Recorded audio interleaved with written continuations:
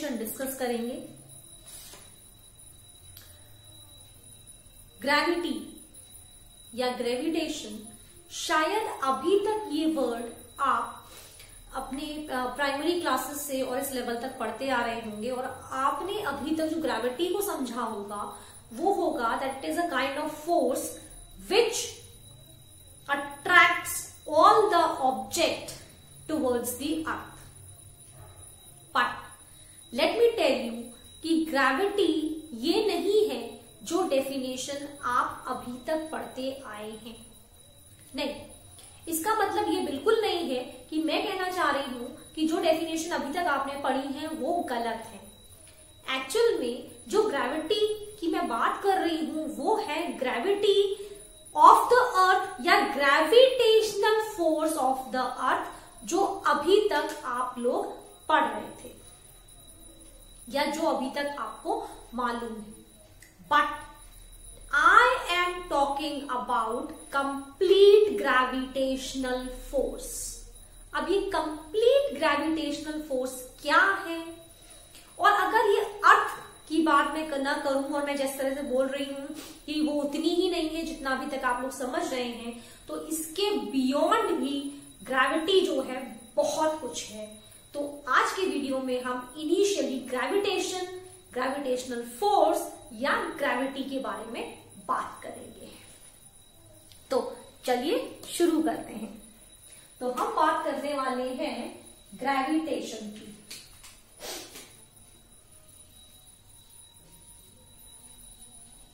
Gravitation ये है हमारा आज का टॉपिक जो हम आज के वीडियो में सीखेंगे।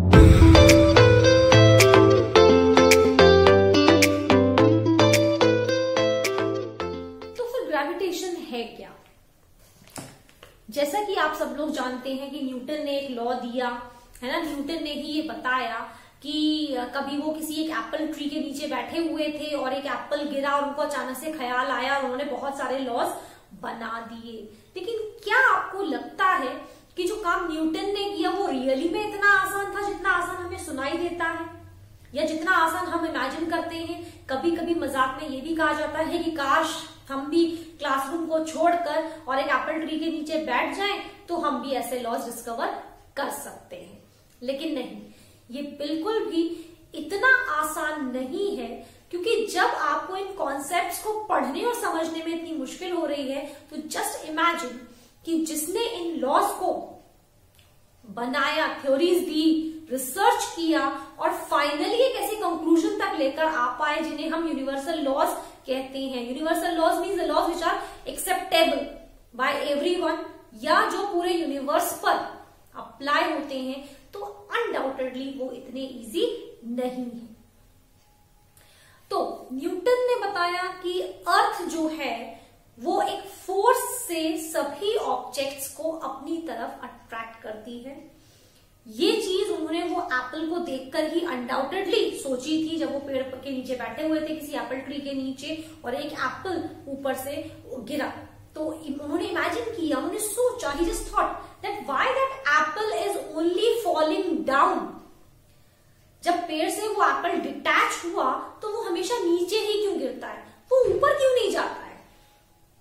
कुछ ऐसे ही ख्याल कुछ ऐसे ही विचार उनके मन में जो थे, वो डेवलप हुए एंड देन फाइनली उन्होंने जब रिसर्च किया थ्योरीज डेवलप की then we got the universal law of gravitation तो ग्रेविटेशन जो चैप्टर है फिजिक्स का क्लास नाइन्थ में, हम यही पढ़ने वाले हैं।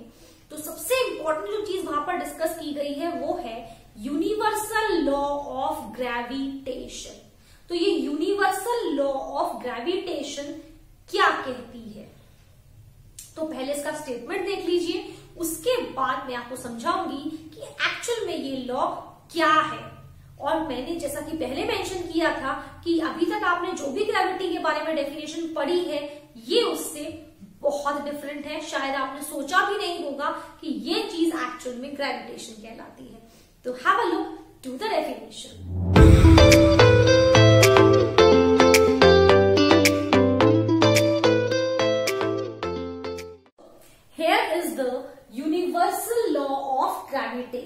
तो देखते हैं कि ये लॉ बेसिकली क्या कहती है। तो it state that every object in the universe देखिए, ये जो लॉ है, ये स्टेट करती है कि every object every object in the universe यानी जो होल यूनिवर्स प्रेजेंट है, ठीक है, उसका हर object attracts every other object with a force अगर कोई भी दो ऑब्जेक्ट्स इस यूनिवर्स के हम ले लें, कोई भी दो objects okay I am talking about the whole universe वो कुछ भी हो सकते हैं I am not talking about only the the bodies the objects which are present on the earth but the law says objects present in the whole universe पूरे universe के आप कोई भी दो ऑब्जेक्ट्स को ले लीजिए उन दोनों ऑब्जेक्ट्स के बीच में एक फोर्स ऑफ़ अट्रैक्शन होता है। Okay that force of attraction उसका जो मैग्नीट्यूड है is proportional to the product of their masses तो यहाँ पर जो फोर्स है, उसका जो that is proportional to the product of their masses किसके मासेस के? जो दो ऑब्जेक्ट्स हैं, उनके बीच में, जिनके बीच में फोर्स अप्लाई हो रहा है। And inversely proportional to the square of distance between them और ये जो फोर्स है, ये इनवर्सली प्रोपोर्शनल होती है किसके? उन दोनों ऑब्जेक्ट्स के बीच में जो डिस्टेंस है, उसके। तो ये चीज़ निकल के आती है। यानी ये ये जो स्टेटमेंट है, ये कहना चाह रहा है कि जो फोर्स है फोर्स को हम ऐप से रिप्रेजेंट करते हैं तो जो ये फोर्स है, ये डायरेक्टली प्रोपोर्शनल है किसके? एम वन एम टू के। M1 और m2 क्या है? M1 और m2 वो दोनों ऑब्जेक्ट्स का मास है, जिसके बीच में ये फोर्स ऑफ़ अट्रैक्शन एक्ट करता है। देखिए, ध्यान रखना है that is universal law of gravitation तो ये फोर्स हर को दो ऑब्जेक्ट्स जो भी इस पूरे यूनिवर्स में प्रेजेंट है, कोई भी दो ऑब्जेक्ट्स आप ले लीजिए, उनके बीच में ये फोर्स ऑफ़ अट्रैक्शन होता है। ठीक है? So this is directly proportional to the product of the masses of these two objects. And this force is also inversely proportional to the square of the distance between them. तो inversely proportional आप लोग जानते हैं तो ये force है ये inversely proportional होती है किसके इन दोनों जो ऑब्जेक्ट्स जहाँ पर भी रखे हैं उसके बीच का जो डिस्टेंस है अगर हम उसे आर से रिप्रेजेंट करें तो उसके स्क्वायर के इनवर्सली प्रोपोर्शनेट होता है। आप देख सकते हैं सपोज़ कीजिए ये कोई ऑब्जेक्ट है ए ये कोई ऑब्जेक्ट है बी मान लीजिए मैंने इसका मास ले लिया एम वन और इसका मास ले लिया M two and these two objects are separated at a distance R तो ये फोर्स है ये क्या है? डायरेक्टली प्रोपोर्शनल है इन दोनों के प्रोडक्ट के? और इनवर्सली प्रोपोर्शनल होती है। इन दोनों के बीच का अगर डिस्टेंस आर है तो उसके इनवर्सली प्रोपोर्शनल होती है। ये लॉ दिया, किसने दिया? This law is given by Newton again a big name in the field of science this law is given by Newton तो बहुत इंपॉर्टेंट लॉ है। रिपीटेडली मैं जब भी वीडियो आपके साथ शेयर करती हूँ तो I am just telling you this thing that few of the scientist are there बिना उनके तो हम कुछ सब्जेक्ट्स को बिल्कुल इमेजिन ही नहीं कर सकते। Out of which one is again Newton तो न्यूटन के ही लॉज हम डे वन से फिजिक्स में पढ़ते आ रहे हैं and again this law is also given by Newton तो ये चीज़ इन्होंने बताई। तो सिंपल सी चीज़ है, क्या आपको ध्यान रखना है? मैं जैसे सपोज़ करिए, मैं कहती हूँ कि एक मेरे पास ये मार्कर है और एक ही डस्टर है। ये दोनों ऑब्जेक्ट्स भी इसी यूनिवर्स में प्रेजेंट है। इसी यूनिवर्स का पार्ट है। तो आप कहेंगे कि क्या इन दोनों के बीच में भी फोर्स ऑफ़ अट्रैक्शन है? तो yes yes the force of attraction this force of attraction which is mention here is also present in between these two objects as well यानी इन दोनों के बीच में भी ये फोर्स ऑफ़ अट्रैक्शन प्रेजेंट है। ठीक है? वो फोर्स ऑफ़ अट्रैक्शन कम या ज़्यादा होगा, कैसे होगा, वो अभी हम जब इसका डेरिवेशन करेंगे तो सीखेंगे। तो ये जो फोर्स ऑफ़ अट्रैक्शन इन दोनों ऑब्जेक्ट्स के बीच में है, वो कैसा है? Directly proportional to the masses यानी जो मास इस मार्कर का है, जो मास इस डस्टर का है, अगर मैं इन दोनों के मास को प्रोडक्ट कर दूँ तो I will get the force तो जो उसका मैग्नीट्यूड है, वो क्या होगा? डायरेक्टली प्रोपोर्शनल होगा। और किस डिस्टेंस पर ये प्लेस किए गए हैं? उसके स्क्वायर के इनवर्सली प्रोपोर्शनल होगी ये फोर्स तो ये लॉ कहलाता है universal law of gravitation which I am repeating again is applicable for all the two objects कोई भी आप दो ऑब्जेक्ट्स ले लीजिए पूरे यूनिवर्स में मेड बी टेरेस्ट्रियल बॉडी कोई सेलेस्टियल बॉडी हो हेवनली बॉडी हो, कोई भी हो, हर दो ऑब्जेक्ट्स के बीच में ये फोर्स ऑफ़ अट्रैक्शन होगा ही होगा और ये लॉ कहलाती है universal law of gravitation given by Newton ठीक है? तो चलिए, अब इसका डेरिवेशन देख लेते हैं। तो ये स्टेटमेंट ये दो चीज़ें मैंने आपको बताई, किसके डायरेक्टली प्रोपोर्शनल है और किसके इनवर्सली प्रोपोर्शनल है। तो अब हम क्या करने वाले हैं? इन्हीं दोनों चीज़ों को हम कंबाइन कर देते हैं let this be first equation this be second equation तो अगर मैं इनको कंबाइन करके लिखूं तो it will be F is directly proportional to M one M two divided by R square equation number one और टू को अगर मैं कंबाइन कर दूँगी तो ये आ जाता है that F is proportional to M one M two upon R square now you all know very well that whenever we have to remove the sign of proportional we give a constant there we write a constant there तो इसका मतलब क्या हो जाएगा? That F is f is equals to g m1 m2 upon r square. यहाँ पर जो हम एक कांस्टेंट ले लेते हैं, वो कांस्टेंट को हम लिखेंगे कैपिटल जी से।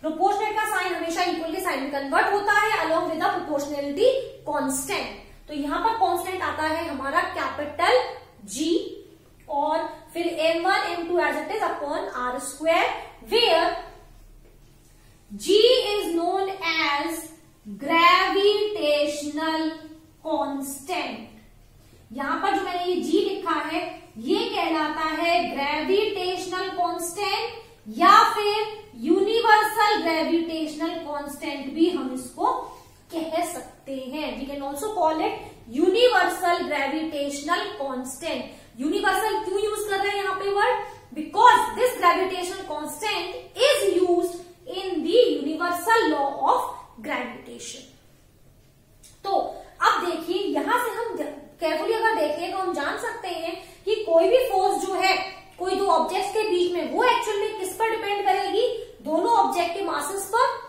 जैसे जैसे मास बढ़ेगा किसी भी एक ऑब्जेक्ट का फोर्स बढ़ता जाएगा but it is inversely proportional to the square of the distance between them तो जैसे जैसे डिस्टेंस बढ़ेगा वो फोर्स ऑफ़ अट्रैक्शन कम होता जाएगा लेकिन साथ ही साथ ये जी पर भी डिपेंड करता है which is known as the gravitational constant क्योंकि ये कांस्टेंट है तो इसकी वैल्यू कहीं पर भी चेंज नहीं होगी and it will remain as it is ठीक है तो ये एक डेरिवेशन निकल के आता है यूनिवर्सल लॉ ऑफ़ ग्रेविटेशन का which gives you that F is equal to capital G M one M two upon R square known as the universal law of gravitation.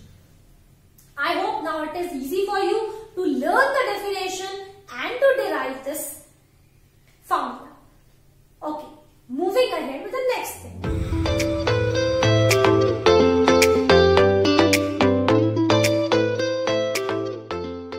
So now, it's time to look for the SI unit of G. जो G है, जो gravitational constant हमारा निकला है, इसकी SI unit क्या होगी तो अभी हमने देखा था कि जो हम फोर्स निकालते हैं, वो क्या आता है capital G M one M two upon R square अब इसी फॉर्मूले से अगर मुझे कैपिटल जी की वैल्यू निकालनी होगी तो वो क्या हो जाएगी?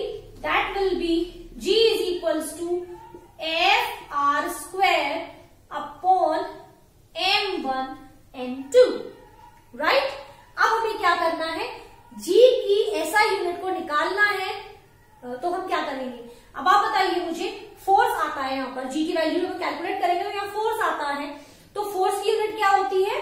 Newton everybody knows this R R represents the distance तो डिस्टेंस की यूनिट क्या होती है मीटर और क्योंकि हमने डिस्टेंस का स्क्वायर किया हुआ है it means it will give you metre square right divided by mass है तो मास की ऐसा यूनिट क्या होती है किलोग्राम दोनों ही मासेस हैं तो I can write it kilogram square यानी जो ऐसा यूनिट आएगी कांस्टेंट ग्रेविटेशन कांस्टेंट जी की वो क्या हो जाएगी वो हो जाएगी न्यूटन मीटर स्क्वायर पर किलोग्राम स्क्वायर या फिर आप इसको ऐसे भी लिख सकते हैं Newton metre square kilogram minus two this is the S I unit of the gravitational constant और the universal gravitational constant G तो अगर आपको याद नहीं है कि क्या रहती है उसकी यूनिट आप याद करना भूल जाते हैं तो इट्स वेरी सिंपल मुश्किल से मुश्किल फाइव सेकेंड्स लगते हैं। आप इसका फॉर्मूला पुट करिए और इजीली आप इसकी यूनिट को पता कर सकते हैं। बस आपको मेथड पता होना चाहिए। That is very important so this is how you can get the S I unit of the gravitational constant G चलिए अब देखते हैं कि इस ग्रेविटेशनल कांस्टेंट क्योंकि ये कांस्टेंट है तो इसकी वैल्यू होती क्या है?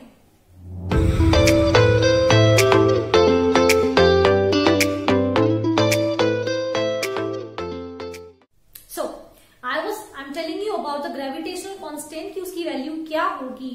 तो इसकी जो वैल्यू है, ये डिराइव की थी एक और साइंटिस्ट रहे हैं, जिनका नाम है हेनरी कैवेंडिश उन्होंने ये वैल्यू डिराइव की थी. His name is Henry Cavendish and by the method of torsion experiment करके बाय सम टॉर्शन एक्सपेरिमेंट आप आगे सीधे क्लासेस में पढ़ेंगे, उन्होंने इस कांस्टेंट की वैल्यू डिराइव की which comes out to be 6.673 into ten to the power minus eleven तो माइनस इलेवन से आप इमेजिन कर सकते हैं कि जो कांस्टेंट है, उसकी वैल्यू कितनी छोटी है।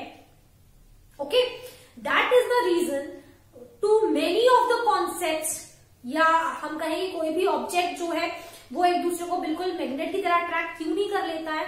क्योंकि जो हम फोर्स कैलकुलेट करते हैं, उसमें इस ग्रेविटेशनल कांस्टेंट का भी एक बहुत बड़ा रोल है।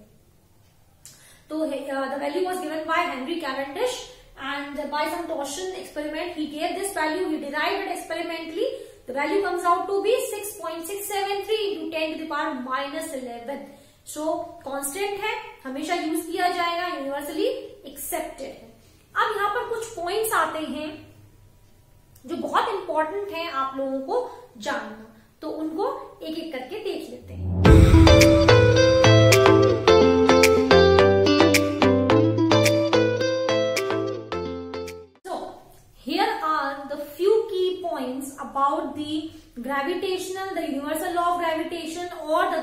gravitational constant to which I have given a name knowledge desk. तो कुछ नॉलेज डेस्क से रिलेटेड यहाँ पर कुछ नॉलेज से रिलेटेड यहाँ पर एक डेस्क है कुछ पॉइंट्स हैं जो आपके लिए जानना बहुत इंपॉर्टेंट है तो the first one is law is applicable to all the objects whether big or small celestial or terrestrial यही चीज़ से मैंने भी स्टार्टिंग किया था मैंने आपको बताया भी था कि जो ये यूनिवर्सल लॉ है ग्रेविटेशन का कोई भी ऑब्जेक्ट हो, कितना भी बड़ा हो, छोटा हो हेवेनली हो टेरेस्ट्रियल हो सेलेस्टियल हो, यानी ज़मीन पे रहने वाला, आसमान में रहने वाला हेवन में रहने वाला, कहीं का भी कोई भी ऑब्जेक्ट हो, छोटा हो या बड़ा हो, हर कोई दो ऑब्जेक्ट्स के बीच में ये लॉ एप्लीकेबल होगा ही। Second point G remains constant, no matter whatever the condition are यानी G, जो हमने अभी ग्रेविटेशन कांस्टेंट की वैल्यू जानी थी, वो हमेशा वही रहने वाली है, उसमें कोई चेंज नहीं आएगा। चाहे चाहे चाहे कंडीशंस कुछ भी हो, कितनी भी चेंज हो जाए but it will remain constant third point कहता है the gravitational force is weak due to the small value of G अगर हम ग्रेविटेशनल फोर्स की बात करें तो वो वीक हो जाता है किसकी वजह से? जी की वैल्यू की वजह से। क्योंकि अभी हमने देखा था, ये जाना था that the value of capital G is very very small next point कहता है as the gravitational force between the two objects is inversely proportional to the square of the distance between them तो इस law को inverse square law के नाम से भी जाना जाता है। कौन सी लॉ को? जहाँ पर की जो ग्रेविटेशनल फोर्स है, वो इनवर्सली प्रोपोर्शनल है किसके? Square of the distance between them तो इसको हम कहीं कहीं इस इस पार्ट को हम इनवर्स स्क्वायर लॉ के नाम से भी जानते हैं। तो ये कुछ की पॉइंट्स हैं अबाउट द ग्रेविटेशनल लॉ और the universal law of gravitation and the constant G अब जान लेते हैं कि ये लॉ एग्जैक्टली exactly इस लॉ का कहाँ कहाँ पर इफ़ेक्ट होता है, या इसका इंपॉर्टेंस क्या है।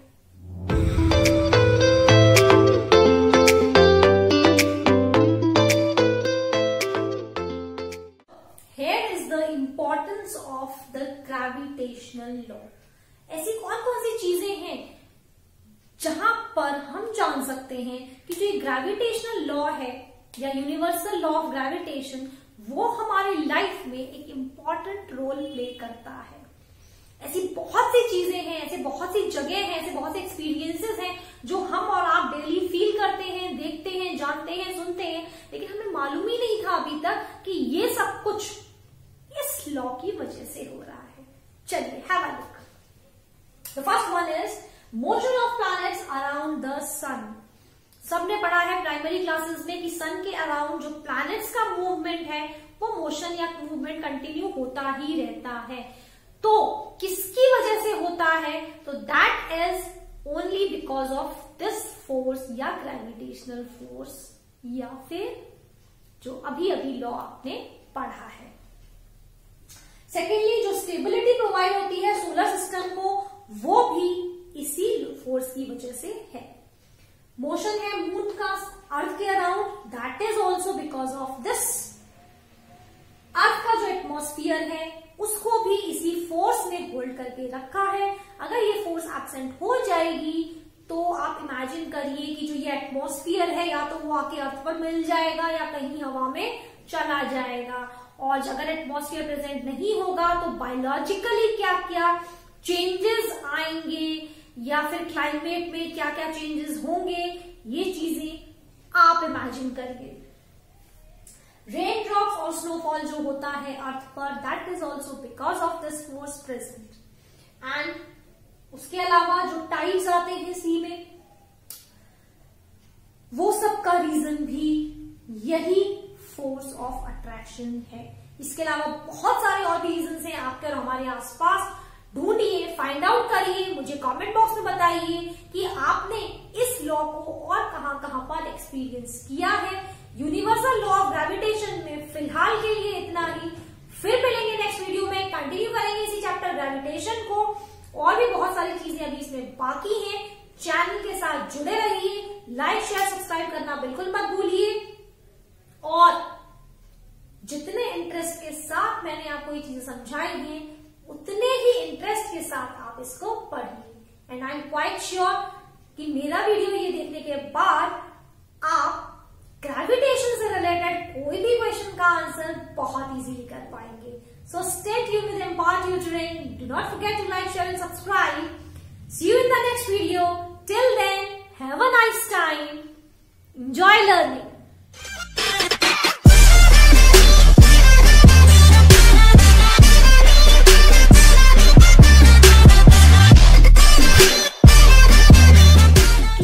to subscribe and watch more videos.